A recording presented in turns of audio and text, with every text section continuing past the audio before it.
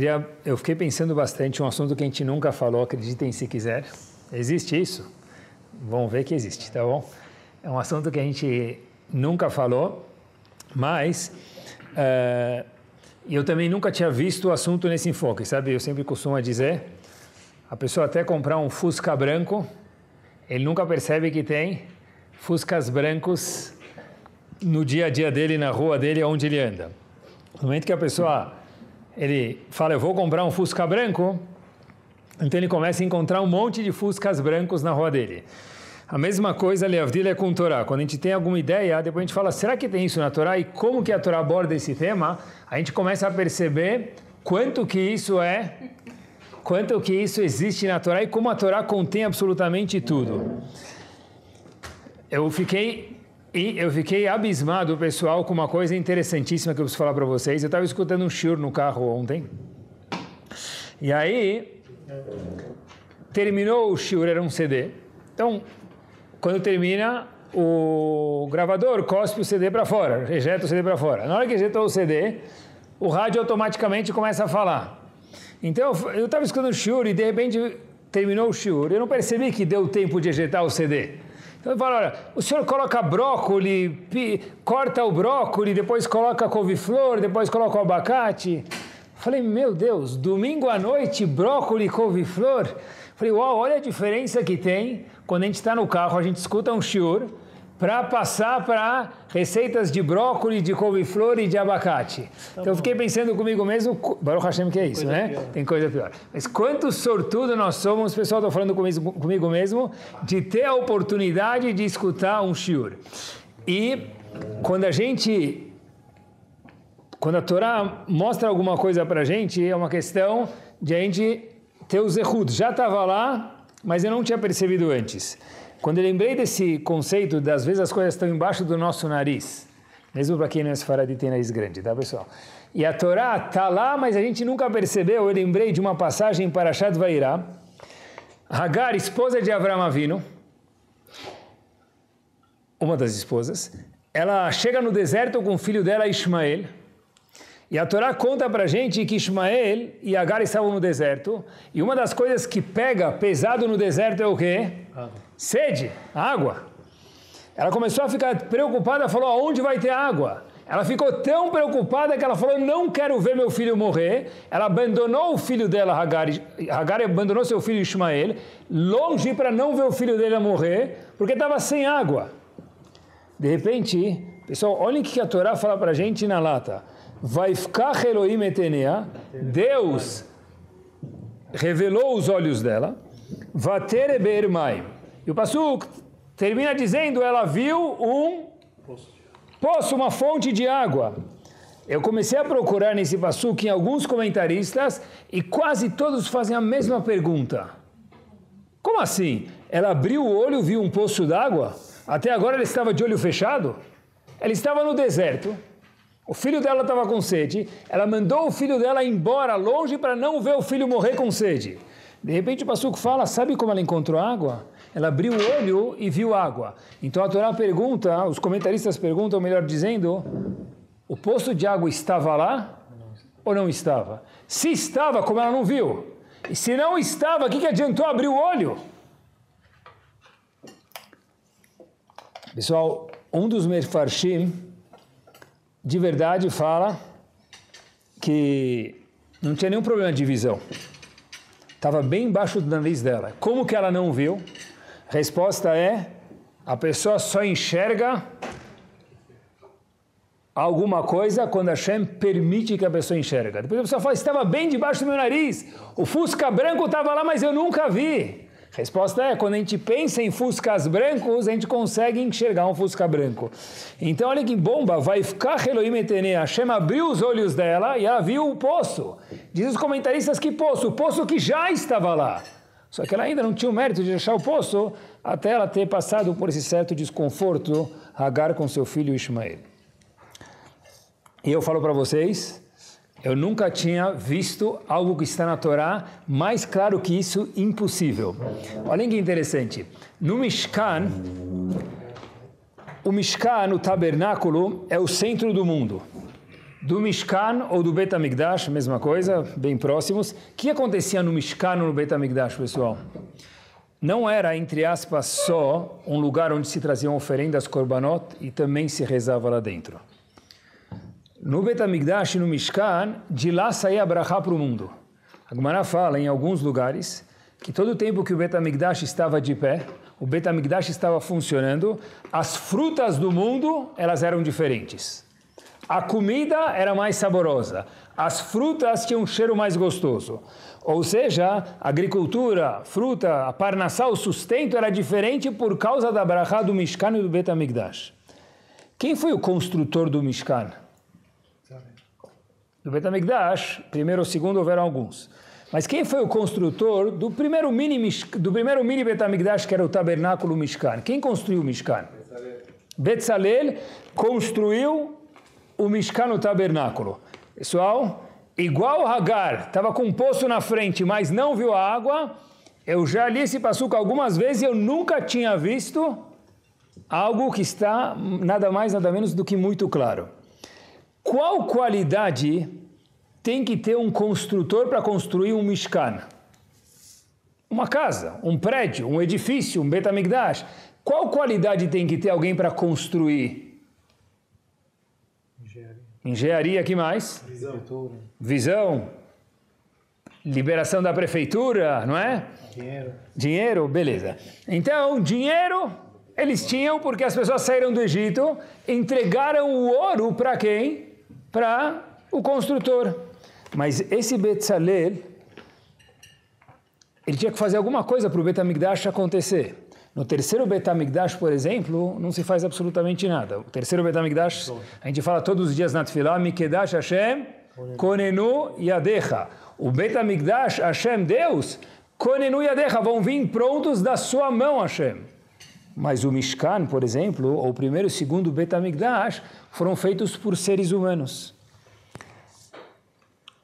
Qual característica que tinha Betzalel? Betzalel tinha, ele é chamado Chacham Lev. Agora presta atenção, vamos ser sinceros. O que quer dizer Chacham Lev? Vamos traduzir sem mentir. O que quer dizer Chacham Lev? Um sábio de coração. coração. Eu nunca vi no mundo alguém sábio de coração. Todas pessoas que a gente ouve falar de sabedoria, ou a gente lê matéria sobre eles, cabeça. são sábios de cabeça. cabeça. Porque parte diferente, distinta, a Torá chama um sábio de Chacham Lev. A qualidade que Betzalel, construtor do Mishkan, teve, o Mishkan era algo espiritual, mas como provei para vocês, também algo que transbordava brachá física para o mundo. A qualidade que Betzalel tinha, meus queridos, era o quê? Que ele era Chacham Lev, ele era um sábio do coração. Se ele era sábio, eu sempre pensei que um sábio é Chacham Moach, sábio do cérebro. Da onde vem a expressão de sabedoria na Torá, Chacham Lev? É aí que aparece a palavra Chacham na Torá. Mas está linkada com Lev, com o coração. Eu procurei nos comentaristas, e alguns dos comentaristas falam que Chacham Lev tem a ver com temor de Hashem. Tá certo, Betzalel com certeza tinha temor de Hashem. Mas meu Rashiva sempre me falava o seguinte, tenta ler o Passuk do jeito que está escrito. Obviamente sem desmerecer nenhum comentarista, Shalom, mas se a gente puder ler o Passuk do jeito que está escrito, fica muito mais easy going. Então como a gente traduz Chacham Lev, pessoal? Um sábio do coração? Difícil. Olhem que interessante. Eu... Uh, percebi que no século 21 a gente fala hoje em dia muito, muito, muito, muito sobre um ponto. A Torá percebeu isso há mais de 3 mil anos atrás. O que é Chacham Lev? O que, que o coração da pessoa representa, pessoal?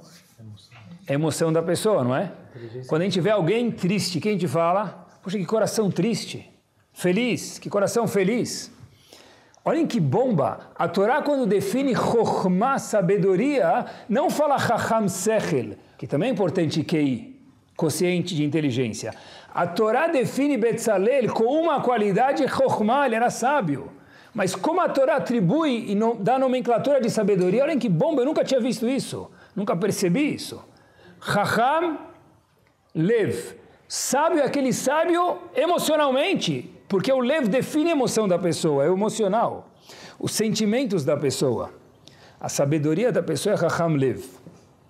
Hoje em dia, mais do que nunca, o cérebro da pessoa, ele não deixa de ser importante, claro, mas hoje em dia, mais do que nunca, a gente sabe que o emocional da pessoa tem uma influência gigante, não só na inteligência da pessoa, como também no bem-estar da pessoa. Se a gente procura, tem milhares de pesquisas sobre isso, uma pessoa que pode estar bem em todos os sentidos.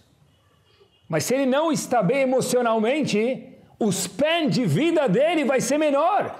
Mas o exame de sangue está bom. Parece que está bom. Mas na hora que vai ver o estresse, vai coletar. O que, que é estresse? É emocional. O emocional, hoje em dia, sempre foi, com certeza, mas hoje em dia mais ainda, tem um impacto gigante, inclusive na saúde da pessoa. Quando a Torá define Chokhmah, define Betzalel, o homem sábio, a Torá fala Chacham Lev, sábio do coração. Coração quer dizer os sentimentos, em português seria inteligência emocional. Eu fui procurar um pouquinho. A Torá define inteligência como uma pessoa que tem QI, mas é inteligência emocional. Porque é assim que é a inteligência. O que ele fez com isso? Ah, quando uma pessoa que é inteligente, ele sabe usar a inteligência dele, não só o QI, mas o emocional também, ele pode cuidar da situação e, inclusive, construir o Betamigdash, fazer o que ele quiser. Porque uma pessoa que ele tem inteligência intelectual, ele não está equilibrado emocionalmente, ele não é uma pessoa que a Torá gosta dele do jeito que ele poderia ser. Quando começa a Torá falando de Chokhmah, a Torá, a primeira vez o Gaon de Vilna fala, quando fala de alguma coisa, define aquilo. Então, quando a Torá definiu Chokhmah, sabedoria, ela definiu como Chacham Lev. Daqui para frente, todo Chacham é o que a Torá define de Chokhmah, é Chacham Lev. Olhem que bomba. Vou explicar para vocês. Até, até há pouco tempo atrás, relativamente falando na história do mundo, se acreditava muito no QI da pessoa. Muito pouco tempo atrás. Que também é importante, obviamente. Hoje em dia, cada vez mais, esse quociente, mas não QI, QE emocional, ele se transforma em inúmeras instituições, inclusive em escolas, em algo importante. É o Chacham Lev. É a Chokhmah, que a Torá falou para mim, Hashem dizendo, a Chokhmah sempre foi intelecto, mas com emocional também. O espaço que tinha para o intelectual antes era total. Hoje em dia, cada vez mais, mais e mais, tem espaço, e é importante a vida das pessoas, o emocional. Obviamente, isso tem razão. Por isso que, hoje em dia, a quantidade de psicólogos é muito maior. Por quê? Talvez porque a pessoa precisa de, já que tem tantas adversidades a mais na vida, pode ser por isso também. E outra razão que as pessoas são muito mais frágeis do que antigamente, fato. Então as pessoas vão dizer, para atingir o equilíbrio emocional, precisam de uma ajuda. Mas isso tudo vem para estabilizar o emocional da pessoa. Eu acho que isso pode ser também, se a gente não estiver exagerando, não estiver dando um passo muito grande, o homem é composto de guf, corpo e que mais? Neshama alma. Eu acho que é isso mesmo. O corpo são as habilidades da pessoa. Levantar peso, sentar, fazer, ir, voltar. Essas habilidades são guf. O que, é a Neshama, pessoal? A Neshama são as emoções da pessoa. Aonde se concentram as emoções da pessoa? Na Neshama dele. Olhem que bomba, um homem para ele estar equilibrado, para ele funcionar bem, ele, Hashem criou a gente diferente dos animais com guf e Neshama o animal talvez tenha, muitos animais têm talvez mais do que alguns seres humanos, uma inteligência, um consciente de inteligência, mas emocional não tem. Por que, que o homem tem? O ser humano tem homem, quer dizer homem ou mulher, porque esse é o consciente emocional, da onde vem isso? Da neshama da pessoa, da alma da pessoa. No século XXI se, se tornou muito claro a necessidade e a dependência de um com o outro. Talvez hoje se dá até mais importância, ou deveria se dar, pelo menos igual, por emocional ao de inteligência, e eu vou trazer para vocês, Bezat Hashem, junto aqui, algumas provas e algumas uh, constatações do mundo. Um, o, a, a, média de quociente, a Shiur de Torá também é cultura, ele vai mais ou menos, não vou falar zero, vai de 20 a 130. O pessoal que tem quociente de inteligência, QI, 20 é fraco. Tem palavras mais feias para isso, eu vou chamar de fraco. 130, a pessoa é o quê? Superdotado. Agora olha que interessante. Se eu pego alguém que tem consciente, 130 não, porque normalmente é difícil lidar com pessoas que têm um tão alto, mas uma pessoa que tem um consciente legal. A bala anda que a gente fala para a pessoa, né? Que tomara que você também tenha assim. Se o consciente emocional dessa pessoa não for bom, como que essa pessoa reage em casa, no trabalho, na sinagoga, onde for? Essa pessoa não virou mais uma pessoa. Então Hashem fala para a gente, o que, que adianta toda a chokhmah do mundo se eu não sei guf e neshama, corpo e alma, equilibrar um com o outro? Por isso que a definição de Chacham, de acordo com a Torá, é Chacham leva. Os tempos mudaram, o século 21 mudou, mas a Torá nunca mudou. Chacham, para mim, Hashem dizendo, é Chacham lev. Isso é a definição de Chokhmah. Olhem só que bomba. Quando Hashem foi se dirigir com Moshe Rabbeinu, foi se dirigir para Moshe Rabbeinu, a primeira vez na história. Uau! O homem que mais viu e verá Hashem foi quem? Moshe Rabbeinu. Ninguém viu Hashem de tão perto quanto Moshe Rabbeinu. A Gemara conta no Tratado de Brachot o que, que Moshe Rabbeinu viu de Hashem? O nó do tefilim de Hashem da cabeça. Hashem não tem corpo, diz o. É um exemplo, uma metáfora para que nós, seres humanos, possamos compreender Hashem de alguma forma. Hashem falou, Loir ani Adam vachai. Nenhum homem vai conseguir me enxergar. Mas o mais perto que vai enxergar vai ser minha, minhas costas. Quem foi esse homem? Moshe Rabbeinu. Que, que Hashem falou para ele logo que ele se apresentou para ele, pessoal? O que, que Hashem falou? Primeira vez que Hashem se, se apresentou para o maior dos profetas do mundo, como ele se apresentou para ele?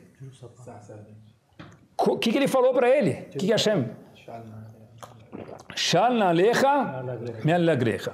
Pessoal, olhem que bomba. Sirtople Moshe retire os seus sapatos, os seus calçados. Eu não sei se que marca de tênis eles usavam, ou de calçado ou de sandalim, mas por favor, Sirtople, remova os seus calçados. Por que, que precisa tirar o calçado? Ele estava no Betamigdash. E daí? Por que, que entrar no Betamigdash precisa tirar o calçado? Eu nunca entendi isso. Pessoal, acho que hoje vem a resposta. Olha que bomba. Quando eu tiro o calçado, não é nada profundo, simples. O que, que acontece comigo? Eu sinto o chão. Vocês estão filosofando demais. Quem tira o calçado, meus queridos, o que acontece? Pé no chão. Pé no chão, ele sente o chão. Eu estou ciente de onde eu estou pisando. Fato é que se tiver uma pedrinha lá um pouquinho mais pontuda, ai, vai doer. Se eu estou de calçado, ainda mais calçados hoje em dia, se for sapato alto de mulher, então nem se fala. Mas calçado de homem também serve, eu não vou sentir mais o solo. Hashem falou para Moshe Rabbeinu, Habibi, você vai ser o primeiro líder do povo, o maior líder que houve e haverá na história do mundo. Não adianta ser um líder somente no que talvez uma pessoa possa imaginar que um líder seja, que é ter sabedoria. Você precisa ter tato, sensibilidade com as pessoas. E para isso, eu preciso que você faça a primeira coisa, o quê? Tira o sapato, sinta o chão. Sinta onde você está pisando. No futuro, sinta as pessoas. No shur de hoje, consciente, emocional. Esteja pronto para sentir as pessoas. Não só se comunicar com ele, entenda pela expressão facial deles do comportamento deles como eles são. Porque senão, pessoal, o que, que, me interessa se ele tirou o sapato e por que a Torá conta para gente que Moshe Rabbeinu tirou o sapato? O que, que me interessa? Eu nunca tinha entendido isso direito. E essa é a mesma razão, meus queridos, que quando o Cohen, ou o Levi, ou mesmo Israel, entra onde, até onde ele pode entrar no Beit HaMikdash, ele tem que tirar o sapato. Por que ele tira o sapato? Sente onde você está pisando. Não corre. Quando eu estou de calçado, eu posso correr descalço. Quando tiver uma criança sem sapato, o que a gente fala para a criança? Ei, vai devagar, se tiver uma pedra você vai machucar o pé, olha onde você pisa. No Betamigdash tirava o sapato também, porque o lugar mais santo do mundo, Hashem falou, quando você for fazer a vodá, o trabalho no Betamigdash, sinta onde você está pisando, senão o seu trabalho, ele é passulho, ele é inválido. É estar em touch com aonde nós estamos. Um dos maiores eventos em quantidade de pessoas que teve em Israel? Qual foi? Nos últimos 50, 100 anos. Quantidade de pessoas, um dos maiores eventos, se não o maior que teve em Israel, em quantidade de pessoas. Qual foi? Show. Dos bastidores, Levaiá, quando foram acompanhar, depois de 100, 120, não, 93 anos bem vividos, Rav Ovadia Yosef Zichron Libracha. Pessoal, preste atenção, 7 de outubro de 2013. Quantas pessoas tinha? Exatamente não sabem, 800 mil, 900 mil. Foi o maior evento em quantidade de pessoas na história do país. Mais do que jogos de futebol, mais do que shows de rock e mais do que outras coisas que eu nem quero mencionar aqui. Agora, esse homem viveu 93 anos, pessoal. Se fosse uma pessoa que Loalê não tivesse falecido com 20, 30, 40, não sei, jovem, então algo trágico. Mas a pessoa que vive 93 anos de idade não é algo trágico. Baruch Hashem, que ele tivesse vivido até os 120 pelo menos, mas foi com 93. 93 já é chamado uma pessoa de idade, não foi algo trágico. Por que reuniu tantas pessoas? Era um homem que, não precisa se dizer, mas a gente diz de passagem, que o que virava na cabeça desse homem 24 horas por dia, pelo menos, ou mais do que 24 horas por dia, sete dias por semana era a Torá. Tem fotos dele no avião com livro. E quando está sem livro também, não precisava nem estar no avião para estar nas nuvens. Era um homem que tinha a Torá o dia inteiro. Pessoas que presenciaram ele no Brasil, quando ele ia visitar, e fora do Brasil, falaram, era um homem que só tinha Torá na frente dele, não tinha mais nada. Tudo que ele via tinha alguma ligação com Torá, porque Torá era a vida dele. Era um homem que aquelas 800 mil pessoas que foram acompanhar ele não tinham uma relação direta com Torá, grande parte deles. Então, por que foram acompanhar esse homem? Qual a relação com esse homem que nunca tinham, tiveram contato com ele face to face? Nas palavras de Shimon Peres, depois vocês procurem, eu procurei, definiu ele da seguinte forma: Olha, eu não sei quantas vezes ele estudou com ele, falou que era a ravruta dele, não sei quantas vezes estudou com ele, mas indiferente, ele falou: Olha, perguntaram para ele o que, que define você, o que, que, você, que, que você sentiu quando você estava na presença desse grande homem Rav Yosef Zichron Libraha?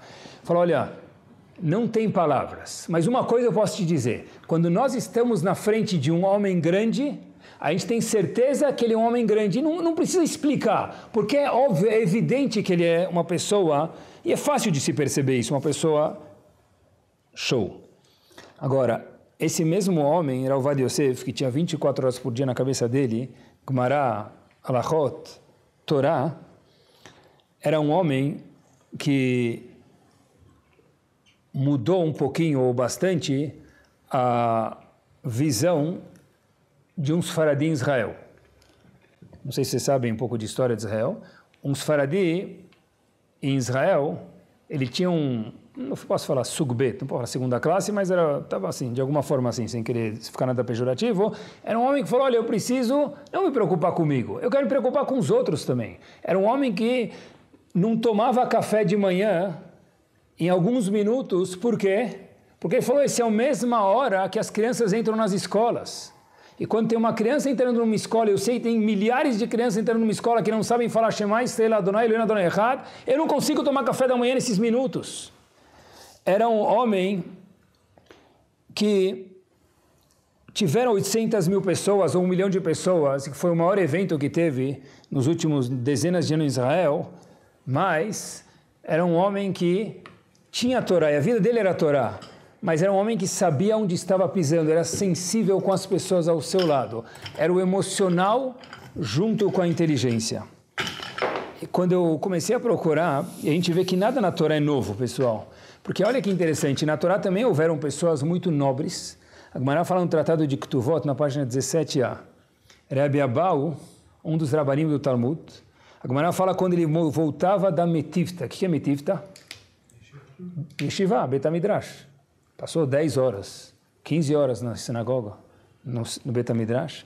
Para onde ele ia, diz Agmará? Lebei Keisar. Para a casa de quem? Do Czar. Para o palácio do Czar. Quem vinha receber era Babal. Chegou do Betamidrash, pessoal. não chegou do, do, do de Washington. Quem vinha receber Ababal, diz Agmará, Amatot, as serventes do Czar. E falavam para ele, Baruch Haba, luz do mundo. Mas como assim? Uma servente para Rababal, Baruch Haba, bem-vindo, luz do mundo. Uma servente não era nem Eudiá, que luz que ela tem dele? Que ensinava Gmará para elas? Nunca. Mas não tem. Era uma pessoa refinada. Para ser uma pessoa refinada, certeza tinha que ser uma pessoa que estava in touch, pé no chão, sentindo o chão, sentindo com quem estava falando. Uma pessoa que tinha inteligência, mas, meus queridos, para poder lidar com pessoas, mesmo não Yehudim, as pessoas falam, uau, olha que tipo de pessoa que esse homem é. Tem que ser uma pessoa que sabe estar bem equilibrado emocionalmente e de forma de Torá também. Bem-vindo, Rababal. Baruch Haba Shalom. Rabovada de novo, pessoal. Certeza que, se a gente não nem exagerar, 400 mil pessoas das 800 mil que estavam presentes no dia do enterro dele, não sei se tinham escutado algum show presencial dele ou nem por mídia. Mas é, é um homem que, que se preocupava com a gente. É um homem que, como Moshe Rabbeinu falou, tinha os pés no chão mesmo que um Yehudi, pessoal, ele tem que sempre ser sensível com Yehudi e também com pessoas que moram ao lado dele, tirar o sapato para sentir o chão onde nós estamos pisando. Eu estava, sabe que eu já falei para vocês algumas vezes, eu nunca preparo o shur de uma vez antes de correr no meio entre uma parte do shur e outro. Entre as, entre as 5 e 10 horas que eu sempre preparar o shur de alguns dias que eu tenho guardado semanalmente kadosh para isso, eu no meio vou fazer minha ginástica. Quando eu faço minha ginástica, minha cabeça abre um pouco mais e me vem mais ideias. Estava correndo em algum lugar, fazendo ginástica, e vi uma bicicleta caída, porque as pessoas hoje alugam bicicleta, não é? E devolvem, deixam no meio do caminho, no cantinho e tal. A bicicleta estava caída no chão. Eu fiquei observando quantas pessoas passavam pela bicicleta e ninguém levantava. Aí eu pensei comigo mesmo, estava preparando o estilo, falei, uau, se a Amá se a servente do Czar, quando viu Rababal, falou Baruch Haba Rababal, luz, o que, que Rababal teria feito? Se ele tivesse correndo na ciclofaixa com todo respeito e visse uma bicicleta deitada, levantado a bicicleta.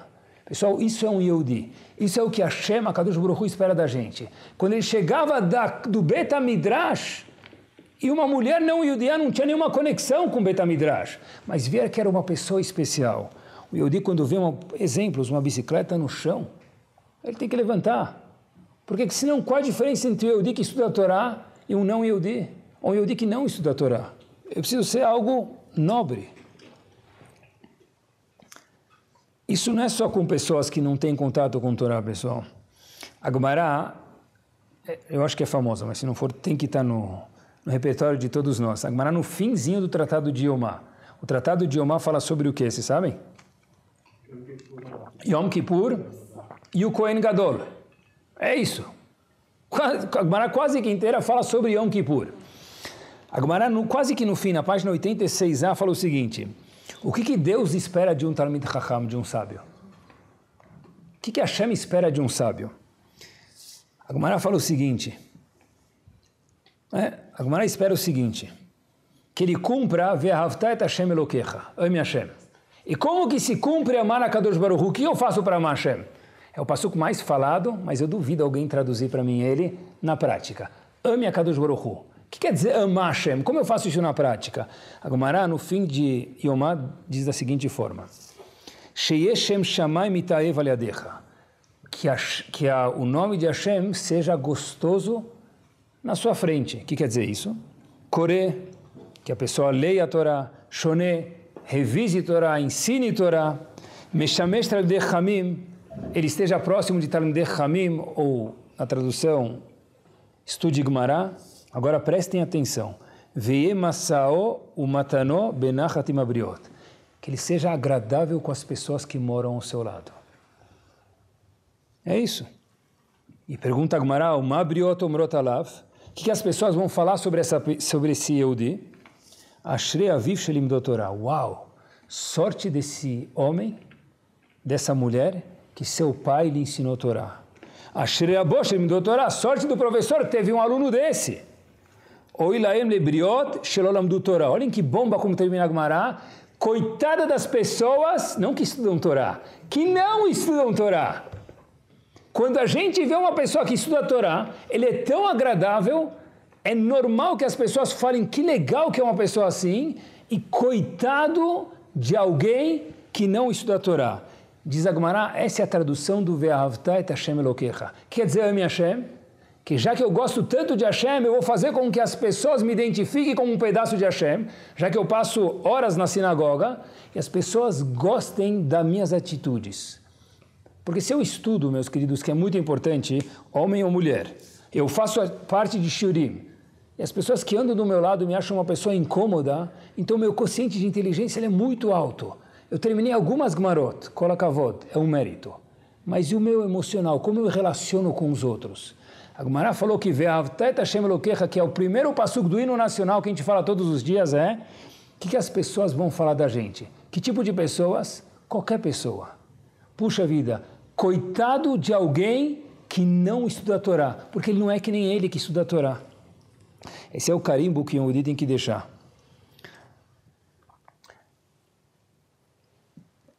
Rav Israel Salant, uma vez, foi dormir, estava indo para uma cidade, ele ia, ele ia, dormir naquela, numa cidade de visita, então um dos alunos falou para ele, Rav, você pode fazer o grande favor de dormir na minha casa? É um mérito.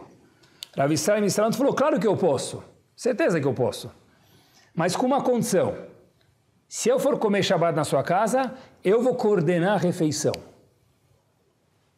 Pensava que essa história é lenda, fui procurar a história verdadeira. Tá bom, chegou sexta-feira à noite, tinha gente na janela olhando o que Rav Israel Misalant ia fazer, todo mundo queria saber. Não era Facebook, pessoal. Antes as pessoas não queriam ver Facebook, Instagram, queriam ver Gdolim. Então foram lá bisbilhotar o que, que ele ia fazer. Todo mundo olhando a casa desse aluno com Rav Israel Misalant. Foi para cantar Shalom Aleichem, Rav Israel Misalant falou, não, não, pula, pula. Tá bom? Pularam. Trouxe o gefilte fish, um minutinho, troca. Próximo prato. Vamos cantar uma música. Próximo prato. Não passaram-se 20 minutos, Birkat Amazon. O cara falou assim: minha esposa preparou comida, o que está acontecendo aqui? Rav Salant falou: depois eu te explico. Terminou a refeição, a mocinha que trabalhava na cozinha saiu para a mesa e falou: Rabino, muito obrigado. Ninguém entendeu nada. Rav Israel falou para ela: a moça que trabalha na cozinha, ela é Eudia. Ela também tem família. Foi o primeiro Shabat que ela foi passar seu dá de sexta-feira à noite com a família dela. Rav Israel falou, olha, eu tenho que tirar o sapato, eu tenho que sentir o chão antes de fazer as minhas humrot. Porque eu quero cantar, eu quero falar de Vartorá, eu quero ler Mishnayot, eu quero ler Gemara, eu quero ler Zohar, mas não à custa dos outros. Olhem que bomba, pessoal. Essa história rodou em Lita, e contaram essa história para um dos grandes rabanim, chamado Rav Yitzhak Yohanan Spector. Viveu em 1850, ele foi Havruta do Rav de Brisk Betalevi. Contaram essa história para ele e perguntaram para ele como que Rav Israel Misalant faz uma coisa dessa. Rav Yitzhak Yohanan Spector falou, simples, está na Torá isso. Falou, como assim está na Torá? Falou, simples. Avram Avinu recebeu os visitantes, lembram disso? Tá bom, toda criancinha aprendeu isso na escola. O que, que ele serviu para os visitantes? Língua. Língua. Três línguas. Para ter três línguas tem que ter tido quantas vacas? Três. Três. Tá bom? Quanto pesa cada vaca?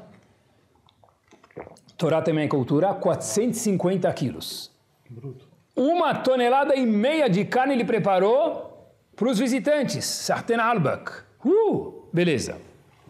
Agora, de repente, Avram Avinu foi trazer água para eles. O que está escrito na Torá? Yukachna me'at. Traz só um pouquinho de água. Traz um pouquinho de água. Então, Ravitsa Yochanan Spector perguntou por que ele trouxe carne e na hora de trazer água ele trouxe um copinho pequeno. É. Traz água. Traz um monte de água para fazer Netilat Yadayim. Traz um balde de água. Quanto mais água tem Netilat Yadayim, segurar para Parnassá, essa a gente quer. Quanto mais água a pessoa faz Netilat Yadayim, assim está escrito no Shulchan Aruch, mais brachá eu tenho. Então traz um balde de água, um galão de água, um barril de água. Disse Rav Yitzhak Hanan Spector o seguinte, é, quem que foi pegar a vaca Quem fez shkita na vaca? Avram Avino. Quem cuidou da vaca? Avram Avino. Quem trouxe água? O ajudante de Avram Avino. Hashem falou assim, olha, eu posso me obrigar a trazer um quilo e meio de carne, mas quando é para algum ajudante meu trabalhar, o mínimo possível vai trazer para fazer daí, eu não preciso trazer mais do que isso. Disse Rav Spector, foi daí que Rav Israel falou, olha, quando é às custas dos outros, para saudade de noite, por exemplo, eu vou correr, porque para mim é fácil uma seuda larga, mas a mocinha que está na cozinha, ela quer fazer saudade de Shabbat com a família dela, ela não pode porque ela está trabalhando. Quanto mais eu demorar, mais ela vai demorar também. Pessoal, isso é pé no chão. Hashem falou para Moshe Rabbeinu, sente o chão aonde você está pisando.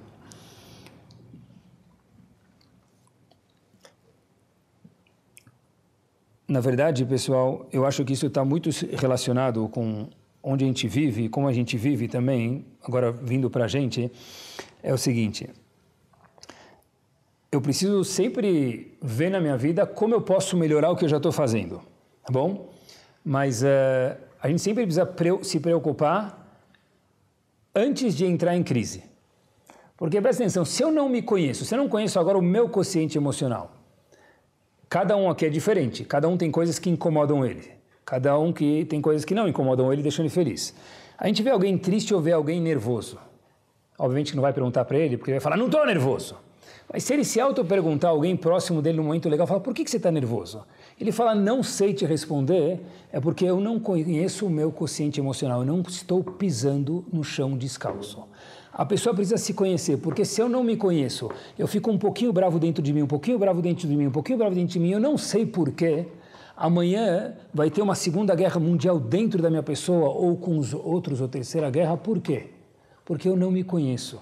A pessoa, todo Yehudi tem a obrigação de se autoconhecer, pessoal. O que, que me faz chateado? Que, que me faz frustrado? O que, que me faz feliz? Como eu lido com essas situações?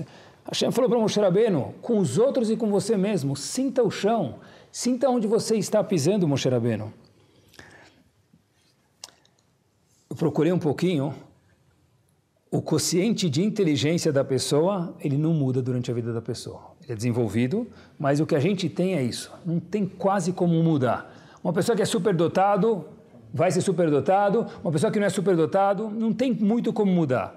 Mas o, cientificamente falando, o quociente emocional da pessoa, isso pode ir de 0 a 100, de 100 a 0. Isso depende da gente. Esse estar em touch comigo mesmo, com os outros, isso é uma questão de desenvolver. Eu acho que a coisa mais difícil quando eu tenho uma criança na minha frente é quando você conversa com a criança e ela não responde nada. Parece estar falando com um muro. Por quê, pessoal?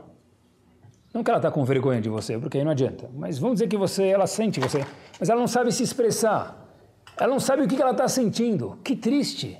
Porque se uma criança não sabe o que ela está sentindo, como que a gente vai ajudar ela? Tem que fazer ela saber o que ela está sentindo. É muito mais difícil que uma criança que está sentindo alguma coisa, seja certo ou errado, ajudar essa criança. Como se ensina uma criança, ou nós mesmos, pessoal, a estar ciente dos nossos senti dos sentimentos, dele ou dos nossos? Um é sendo um exemplo. Quando eu chego em casa, ou no escritório, onde for, eu falo, hoje eu estou feliz. Ou no escritório eu vou te pedir aumento, não tem problema, mas tudo bem. Ou chego em casa e falo, hoje eu estou cansado, hoje eu estou agitado. Quando eu vejo o Abba e a Ima falando palavras assim, os sentimentos também falam na minha casa. Porque se eu nunca escutei nenhum sentimento na minha casa, como é que eu vou me expressar? Na escola. Não dá para terceirizar a educação. Mas depois de tudo que a gente paga, é, agora que vocês já estão pagando, já pagaram o boleto desse mês, não dá.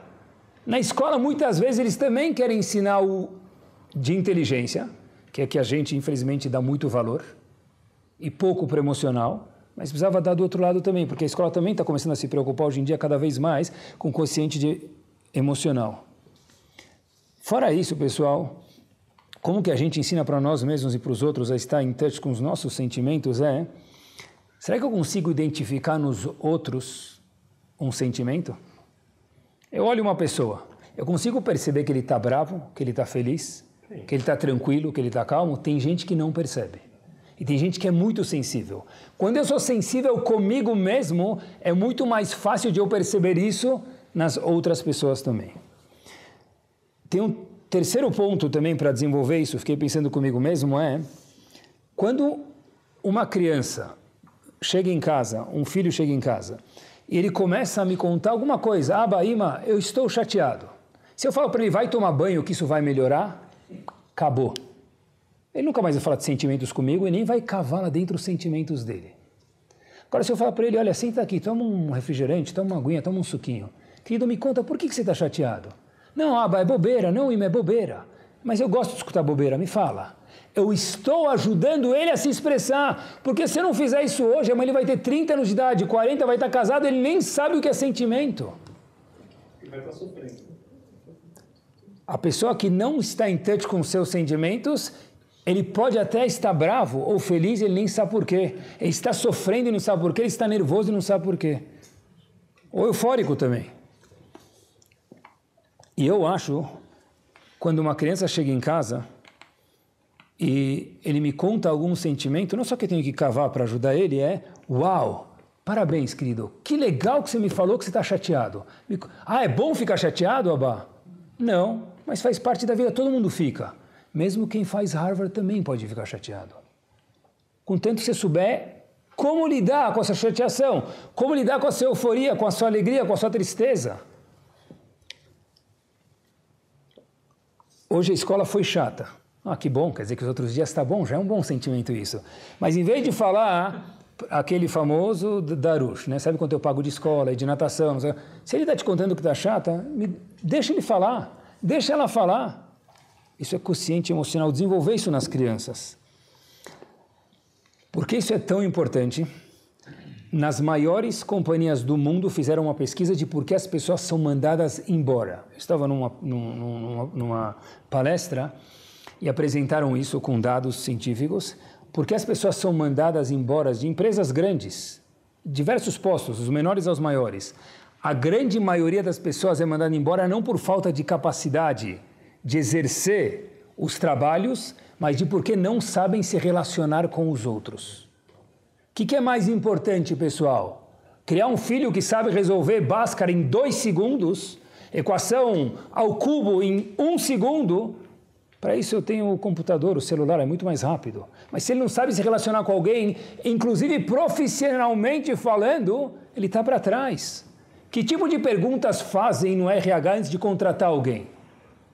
Quanto é 9 vezes 9 dividido por 3 vezes 5? Não é, são essas perguntas. Que perguntas fazem? O que, que você faria se você estivesse na rua e tivesse uma senhora andando e só tivesse um guarda-chuva? O que, que você faria? Sério? O que tem a ver a senhora na rua com guarda-chuva se eu vou trabalhar numa empresa de finanças? Parece que tem a ver. Isso é consciente emocional. É isso, a gente tem que estar preparado para isso. Agora, por quê, pessoal? Qual a definição de um pai na Torá? O que é a palavra Av? Onde aparece a palavra Av na Torá? Torá é nosso dicionário. Onde aparece a Av na Torá? Quando Hashem colocou Yosef no palácio do faraó, está escrito, Yosef falou para as pessoas, olha, vai a Leav le parou. Eu virei um pai para parou. Como assim? Yosef era ministro das finanças, não era pai. Rashi pula da cadeira e diz que que é Av, Haver, amigo. Diz Rav Shimon Schwab, a definição da palavra Av, Aba ou Ima é Haver. O que quer dizer Haver? Amigo. Se eu sou uma pessoa que meu filho pode contar alguma coisa para mim, sem eu criticar, sem eu pular, sem eu pisar em cima dele na primeira instância e escutar, não preciso aceitar tudo, mas eu sei escutar, eu sou um Av. Av é Haver, amigo. Inclusive, o Maral de Praga fala aqui, olhem que bomba. Como se fala pedra em hebraico? Even. Even é composto pelas palavras Av e Ben. Porque a relação de um pai, Av e Ben e filho tem que ser uma pedra. De sólida, não que os dois são uma pedra um com o outro e tem fricção, não é isso.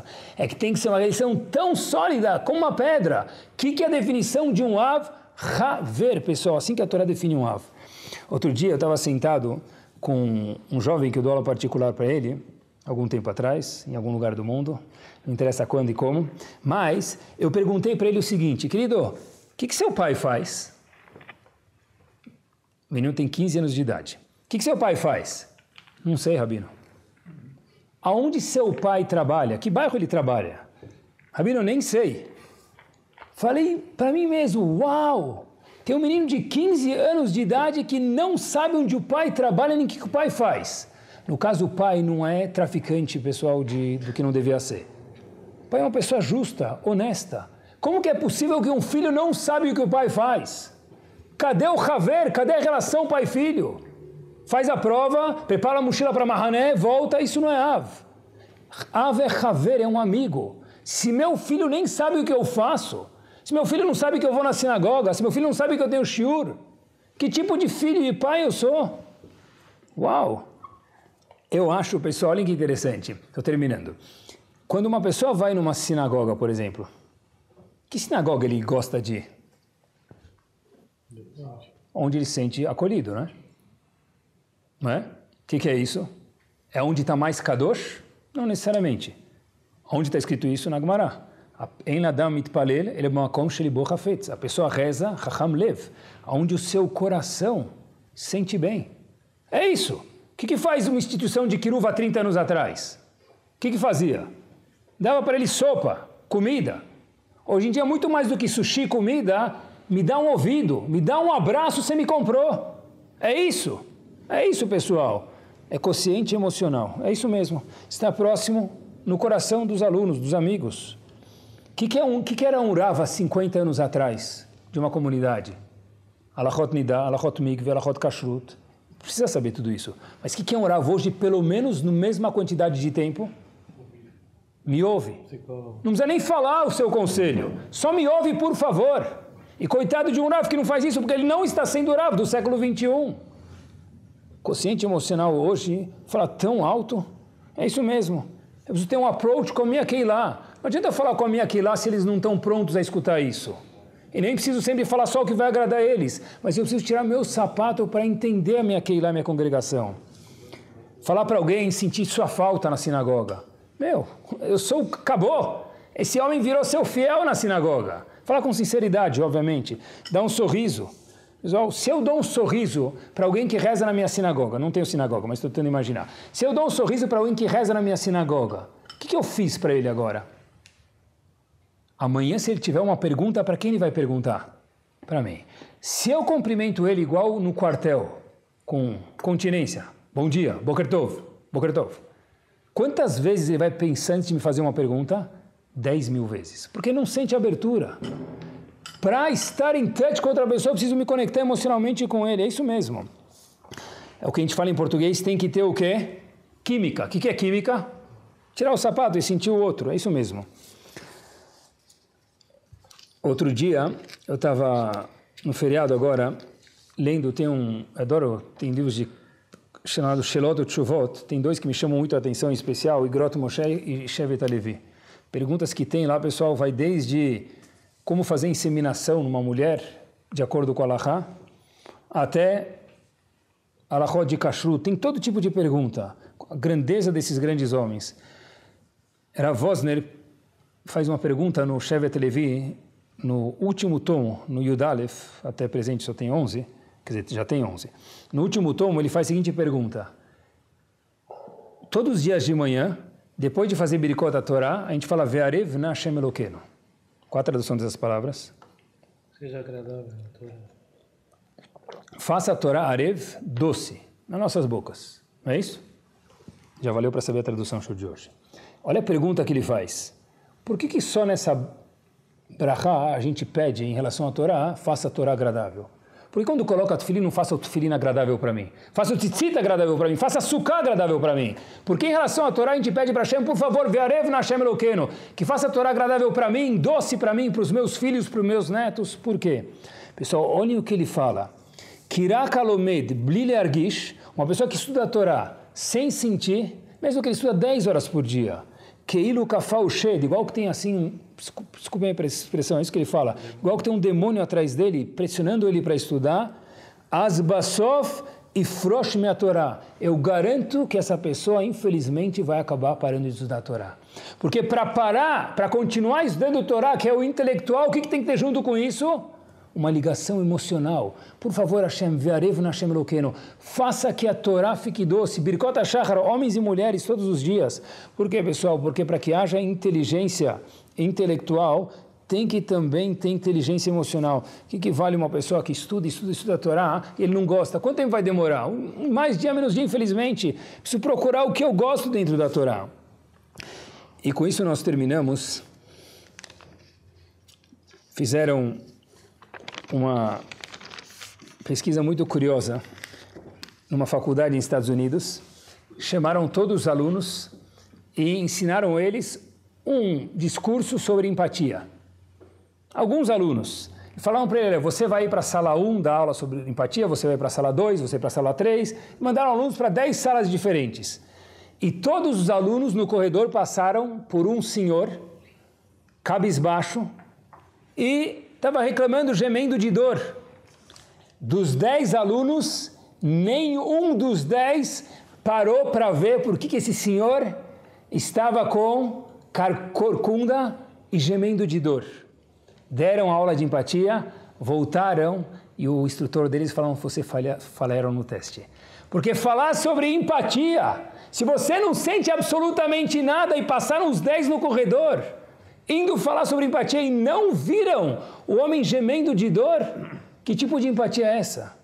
Que Bezat Hashem, pessoal, a gente possa entender a Torá, viver a Torá, dar importância para os nossos filhos que eles tiraram 100 na FUVEST, 90 no Enem, mas não esquece porque para aquele mesmo filho profissional, para aquele mesmo filho que um dia vai ser pai, para aquela mesma filha que um dia vai ser mãe, se ela não souber entender o marido dela, se ela não souber entender os sentimentos da esposa dela, dos filhos dela, inclusive profissionalmente, como a gente mencionou, essa pessoa tem uma tzlachá, infelizmente, muito menor do que uma pessoa que tem o consciente inteligência dele equiparado, pelo menos, com o emocional da pessoa que sente o sentimento dele e dos outros que estão ao seu redor.